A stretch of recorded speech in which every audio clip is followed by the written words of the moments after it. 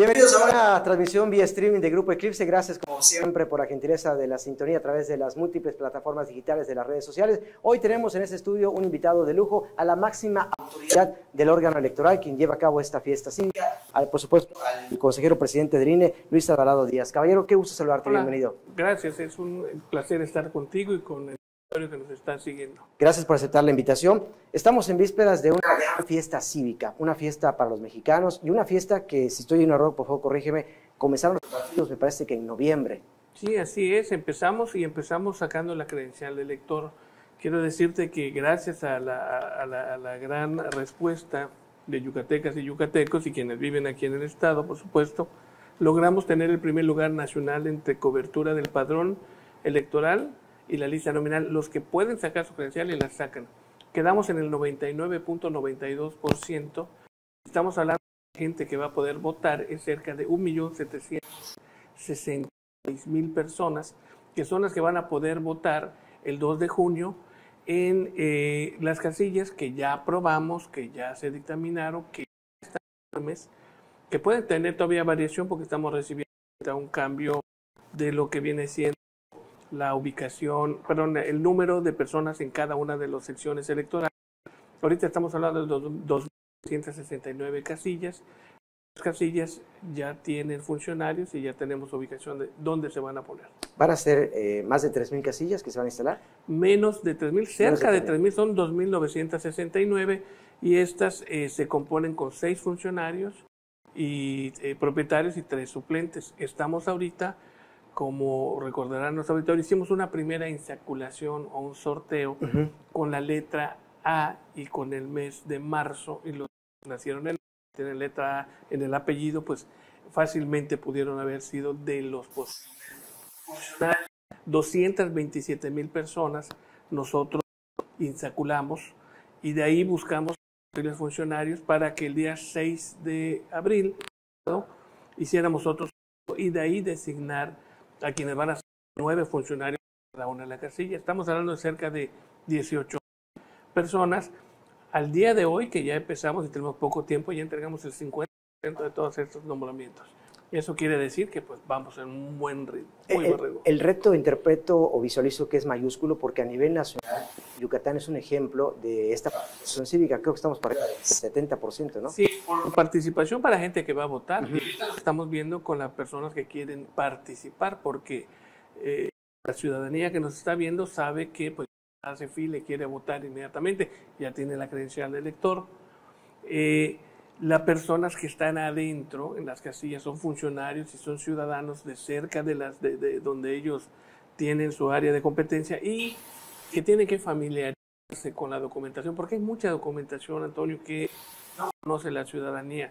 Bueno, de entrada es dar seis boletas a cada uno de los que vamos a ir a votar, porque son las tres elecciones locales y las tres federales. Tienen que entender cómo funciona y cuáles son las reglas de una casilla federal y una casilla local, mezclar y funcionar y fungir como eh, presidente, secretarios. Es un trabajo que hay que reconocerle. El esfuerzo que hace el Instituto Electoral del Estado con el, instituto, con el INE para que hagamos simulacros. que ¿A qué le llevamos simulacro? A que la gente que ya está designada conozca cómo va a trabajar, cómo va a armar. ¿no? Recordar la gente que nos, que nos está viendo hay chiflidos, apúrense, ya queremos este, votar y, y pues si no saben cómo armar, pues imagínate, la una se ve muy bien cuando está armada y está padre, pero ¿dónde va cada, cada cosita Como para poder rompecabezas. armar, no? Exactamente. Y tiene su tiempo, ¿no? Y tiene su chiste. No queremos y utilizamos material mu- similar, casi igual que va a utilizar el día de jornada, y luego les mostramos cómo se tienen que llevar actas, qué procedimiento tienen que seguir, y bueno, pues no es que tú lo, lo practiques y que llegues ya con algo practicado, a que llegues en ceros y luego te, te enteres de que hay cosas por hacer en una casilla, ¿no? Claro. Presidente, ¿cuántos eh, jóvenes por primera vez van a votar este domingo 2 de junio? De la vez pasada que terminó la elección 2020 a la fecha, cerca de 80 mil jóvenes que van a votar por primeras elecciones del Estado. Es un número importante y obviamente pueden también formar parte. de no sabemos cómo va a quedar eh, el, desempeño de ellos, por lado mucho por, por el tema que tocas, que los jóvenes van a tener una importante actividad que tienen que realizar porque es la primera vez que votan, pero el rango que llega hasta los 29, 30 años es la, generación que tenemos que eh, pedirles que voten. Es un número importante de, de, lo que es el padrón electoral, cerca del 25% del padrón electoral, y pueden, por supuesto, con esto eh, favorecer a una u otro candidato, pero además quien gane, pues, sentir respaldado mayor número posible de participantes. Otro dato importante que quiero eh, dar es, eh, para esta jornada electoral, la única forma en la que se puede participar es con la credencial de elector. ¿Cuántas están todavía en espera de que sean recogidas? Mira, ya se cerró el plazo, ya quien no fue por su credencial ya no se le puede dar, pero lo bueno es que solamente fueron 1.504 en los módulos. Ese es el número más bajo que se ha retirado en todos los procesos electorales anteriores. Obstante, y, dada tu pregunta, pudiera ser presencial. Y ante eso, sí, el instituto está dando eh, reimpresión hasta el 20 de mayo para que puedan citarla y nosotros entregarla. ¿no? Eso es algo importante porque somos sujetos a que o nos roben y pues que nadie este, se quede sin votar, que es lo que quiere el instituto. Otro dato también que quiero yo preguntar. Eh, entiendo que, digo, la elección es el próximo 2 de junio, domingo habrán algunos, eh, algunas personas en el extranjero que podrán votar antes en mayo.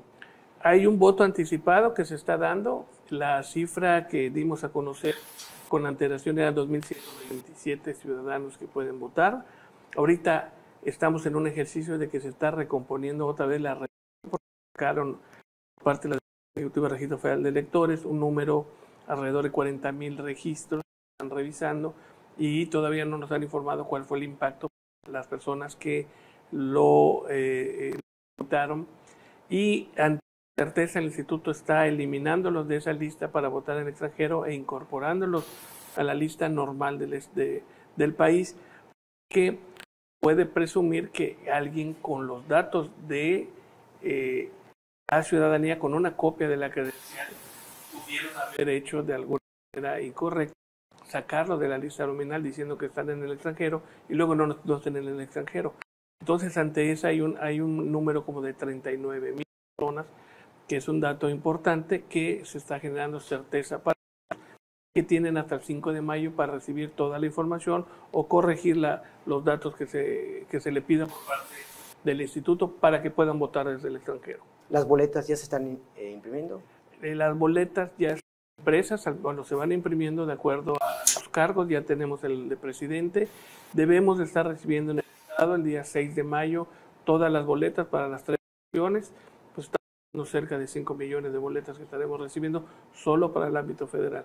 El 6 de mayo, pues ya estamos ya cerca. Perfecto. Presidente, ¿algo más que usted guste agregar ese día? Pues invitar a la ciudad que informe, porque yo creo que un voto informado, un voto sepan quiénes son los candidatos, qué representan, qué es lo que ofrecen y a qué se van a obligar, es algo sin duda que es muy importante y que el ciudadano o la persona tiene que saber qué es lo que le va a exigir a quien gane y por quién va a votar, que tiene que ser un voto informado este 2 de junio. Luis Tabarado Díaz, presidente del Consejo Local del Instituto Nacional Electoral, gracias por honrarnos este día con su presencia. No, por favor, es un gusto estar con ustedes. Un placer, gracias. Gracias, gracias.